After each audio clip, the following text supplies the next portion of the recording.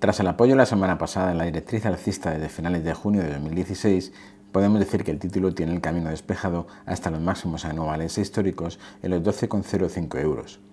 Técnicamente, la reacción alcista de la semana pasada desde la directriz alcista con origen en los mínimos de junio de 2016 es de manual. Por lo tanto, podemos decir que son tres los apoyos a la directriz alcista de medio plazo, o lo que es lo mismo, en la medida en que no tengamos un precio de cierre por debajo de los mínimos de la semana pasada, en los 11,20, entendemos que lo más probable es que el título se dirija a la zona de resistencia que presentan los máximos históricos, los que se marcaron a finales de 2015 en los 12,05 euros.